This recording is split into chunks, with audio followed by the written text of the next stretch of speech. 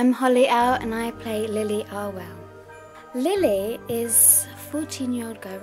You know, she's got a younger brother who annoys her, her dad's away, so she's got a little bit of that teenage angst about her um, when you first meet her in the story.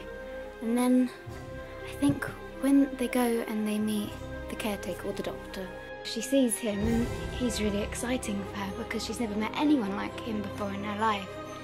And I think um, she enjoys his company. You must stay away from him. Why have you got a phone box in your room? It's not a phone box, it's my wardrobe. Cyril.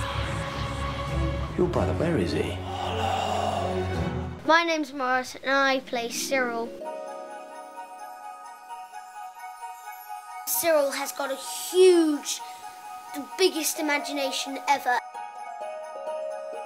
It's wartime and they get evacuated um, to a big house in Dorset, it's supposed to be, but actually South Wales. There's a caretaker who's supposed to be a man called Mr. Cardew.